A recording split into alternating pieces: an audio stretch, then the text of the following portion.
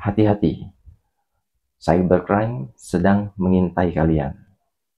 Jangan sampai kalian menjadi korbannya. Untuk menghindari hal tersebut, kalian perlu tahu apa itu cybercrime dan bagaimana agar kalian tidak terkena cybercrime. Bagikan video ini, jangan sampai ada korban selanjutnya.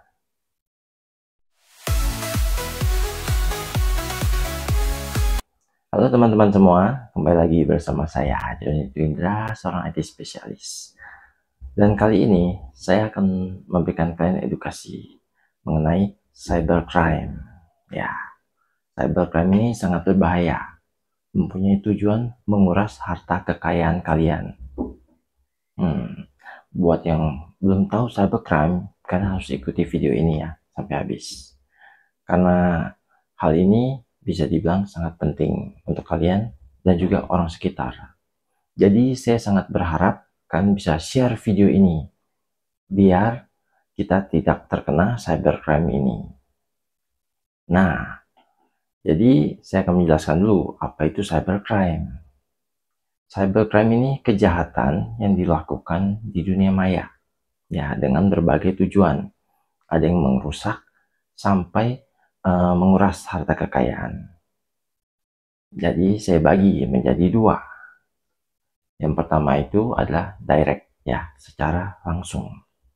Dan yang kedua adalah indirect, jadi secara tidak langsung. Untuk yang pertama, direct. Direct ini mungkin sering kita ketahui ya, kita sering ketemu. Dan ini mungkin bisa dibilang ya paling gampang buat kita hindari. Contohnya, kalau zaman dulu, tipe direct ini paling terkenal nih, sempat booming, minta pulsa. Ya, kalian pasti masih inget kan? Kalian bilang, ya papa minta pulsa dong, mama minta pulsa dong, atau kerabat kalian yang lain, dia berpura-pura meminta pulsa. Setelah, setelah mendapatkan pulsa, apa yang dilakukan? Dia menjual kembali menjadi apa? Pulsa transferan Nah, kalian mungkin sempat berpikir, kok bisa ya ada pusat transferan murah? Ya, itulah asal-usulnya. Bukan cuma itu. Karena sudah baik yang mengetahui, dia berkembang. Ya, di sini mulai ada kalian mendapatkan hadiah. Nah, sering juga, bahkan mungkin sampai sekarang. Ini, kalau kalian mendapatkan SMS atau berita, kalian mendapatkan hadiah, baik uh, di email, SMS, uh, WhatsApp, dan yang lainnya, hati-hati. Cara menghindarinya adalah kalian mencari tahu dulu sumbernya. Benar atau tidak. Contoh, bank yang terkenal misalkan, kalian bisa menghubungi bank tersebut. Kalian tanyakan, benar gak sih saya mendapatkan hadiah? Ya, tipe direct ini sebenarnya uh, yang penting kita harus aware, ya kita harus sadar tidak ada hal yang namanya easy money. Ya. Kita kalau mendapatkan sesuatu yang namanya easy money, kita aware sedikit. Kita harus sadar, wah, masa iya semudah ini? Nah, tipe direct ini juga bukan hanya meminta seperti hal tersebut ya. Ada juga hal lain yang lebih canggih. Dia memberikan kita APK Begitu kita klik, dia akan menginstal di handphone kita. Nah, begitu dia menginstal, dia akan menggantikan uh, aplikasi kita yang benar dengan aplikasi dia. Jadi sebenarnya mungkin benar, tetapi di saat kita melakukan login ya, kita masuk ke aplikasi tersebut, dia akan mengirimkan data, ya, data ke uh, mereka, ya, si penjahat ini kita akan melihatnya mirip. Kalau zaman dulunya, uh, mungkin kalian pernah mendengar ya, uh, klik BCA. Ya, contoh aja. Banyak yang membuat uh, website mirip dengan klik BCA. Dia menambahkan A. Atau dia mendapatkan K di depannya. Jadi K klik BCA. Ya. Dia memanfaatkan orang yang melakukan kesalahan dalam pengetikan. Nah, begitu dia masuk mirip. begitu kalian login dia akan melakukan uh, bilang kalian salah padahal data tersebut dikirimkan ke si penjahat ya dan kalian harus tahu tindakan kriminal ini tindakan yang tidak mempunyai pri kemanusiaan jadi jangan berharap mereka akan kasihan kepada si korban hati-hati hindarilah sebisa mungkin apalagi nih kalau saya bahas mengenai kejahatan direct saja, saya rasa tidak akan ada habisnya. Kenapa? Pelaku tindak kriminal ini sangat pintar. Dia akan selalu mencari celah. Di mana kita lengah, dia masuk. Nah, jadi ingat saja, yang terpenting, nomor satu, cari tahu sumber kebenarannya, benar atau tidak. Yang kedua, gunakan prinsip there is so such thing as easy money. Ya, mendapatkan uang mudah itu tidak mungkin. Jadi, perhatikanlah. Nah, kita akan bahas kedua, indirect secara tidak langsung. Di sini sebenarnya pelaku kriminal ini pintar. Ya. Dia tahu cara menggunakan trik.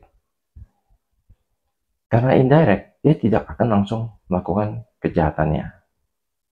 Seperti yang tadi, meminta pulsa atau dan yang lainnya.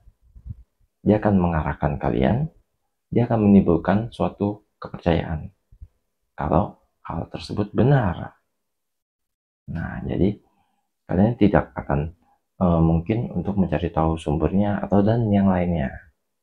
Ini harus kalian waspada, sangat berbahaya. Saya akan berikan contoh. Biasa tindak kriminal ini memberikan iming-iming. Ya. Seperti mungkin memberikan pekerjaan. Atau dia bisa saja membuat suatu video. Saya sudah melakukan investasi. Dalam tiga hari atau seminggu, nominalnya bertambah sekian juta. Hanya modal 100 ribu misalkan. Pasti kalian akan berpikir, ya untuk orang yang bekerja bisa menghasilkan uang yang jutaan, 100 ribu itu nominal yang sangat kecil. Dia akan ikut. Setelah ikut, hilang aplikasi tersebut.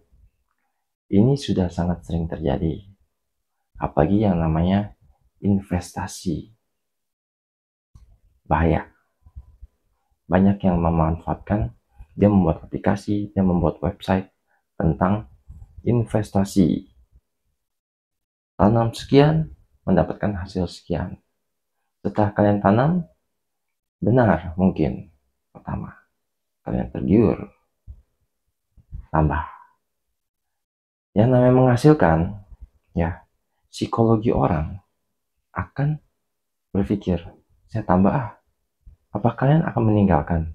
Saya rasa tidak. Malah kalian akan berpikir untuk mendapatkan lebih. Wah, 100 ribu bisa menghasilkan 500 ribu di awal mungkin. Berarti kalau 200 jadi 1 juta. Saya tambahkan saja nol ya. 100 ribu jadi 1 juta. Kalian mendapatkan 5 juta. Satu banding 5 profit yang sangat menguntungkan. Masuk. Di sini yang akan kalian dapatkan hanya berupa angka di aplikasi tersebut. Kalian mencoba pertama kali. Si uh, kriminal akan melihat 100 ribu ya udah kasih aja lah 500 Kalian begitu mendapatkan 500 apa kalian akan pergi? Saya rasa tidak. Itu psikologi manusia. Jarang ada yang akan meninggalkan. Ditambahkanlah. Saya gulung ah 500 ini investasi tambah. Si tidak kriminal akan senang. Modal balik. Kalian mencoba tarik, mungkin senilai jutaan, dia kasih. Di sini kalian akan tahu lah selanjutnya seperti apa. Ya, si kriminal ini memang sangat pintar ya. Bukan cuma itu, ada lagi. Uh, ada yang memanfaatkan kondisi, contoh, pandemi. Di pandemi kita tahu, banyak yang kehilangan pekerjaan. Sulit mencari pekerjaan. Ya, si tindak kriminal ini melihat celah. Dia memanfaatkan berbagai lowongan kerja. Contoh, pasti kalian sering bertemu. Pekerjaan sampingan menghasilkan sekian, sekian, sekian. Akan sangat banyak. Hati-hati. Mungkin dari 10, 10-10-nya tidak benar. Dari 100, mungkin 100-nya tidak benar dalam 100 ribu mungkin hanya satu yang benar. Kalau memang benar, kalian akan bisa mencari tahu sumbernya. Contoh, siapa yang memberi saya pekerjaan ini? Itu. Nah, setelah kalian cari tahu ya, kalian bisa melihat sih uh, karakternya. Biasanya si penipu ini akan memberikan kita sesuatu untuk membangun kepercayaan kita. Contoh, misalkan pekerjaan yang diberikan itu adalah mengetikkan. Kalian cukup mengetikkan ini lalu upload di sini. Saya akan memberikan kalian 5000 misalkan atau 10000. Nah, pekerjaan ini sangat mudah biasanya. Mungkin hanya dua paragraf. Wah, cuma begini. Wah, gampang banget. Kalian lakukan pasti kalian lakukan sekali kalian mendapatkan hasilnya sekali ya benar dia akan memberikan langsung 10.000 apalah artinya lanjut hari pertama hari kedua di, di hari-hari di mana dia memberikan kalian uh, pendapatan ini. Ya di situ dia sedang membangun sebuah kepercayaan. Biasanya dia akan menyelipkan sedikit. Eh kita ada suatu uh, acara atau mungkin event atau mungkin kita ada tipe bisnis yang lain. Kalian mau ikut tidak? Cukup mendaftarkan 50.000 dapatnya 200.000 misalkan ya di sinilah di saat dia mensortir keuangan kalian sebenarnya Siapanya yang sanggup? 50 ribu saya rasa dalam mengerjakan hal tersebut, kalian akan berpikir, ya cobalah masuk. Di sini dia sudah mensortir. Wah, sudah ada banyak yang menjadi korban. Dia akan memanfaatkan data kalian. Dia akan mengambil. Dia akan masuk ke dalam uh, suatu area di mana ini adalah kelompok orang yang masuk ke dalam target satu misalkan. Lanjut. Pekerjaan kalian seperti sebelumnya. Kebesokannya ada lagi event hanya sekali. Dia akan merubah sedikit caranya. Dari 50 ribu, kalian mungkin sudah mendapatkan hasil sekitaran ya 200 ribu. Event ini akan naik. Dari 200 ribu, dia akan mencoba mengambil modalnya tersebut. Ya, modal awal 250 ribu. Saya akan berpikir, oh berarti saya cuma harus membawa 50 ribu karena saya sudah mendapatkan 200 ribu. Kan ikut. Di sini kan sudah masuk kelompok dua, sudah termakan. Nah, dia juga sudah tahu keuangan kalian berarti sanggup di sini, bisa. Kita lanjut ke yang lebih besar. Dari 250 naik langsung dua kali lipat. Minimal 500 ribu akan mendapatkan nominal yang lebih besar. Siapa yang tidak tergiur? Kalian sudah mencoba satu kali, kalian sudah mencoba dua kali. Kalian akan mencoba ketiga kali, Karena dia sudah tahu kalian sanggup, kalian ikut, ya sudah, kalian terjebak. Dia sudah mengambil modal dan dia juga sudah mendapatkan harta kalian. Yang harus dilakukan di sini apa? Dia akan melakukan teknik closing dengan memanfaatkan psikologi kalian.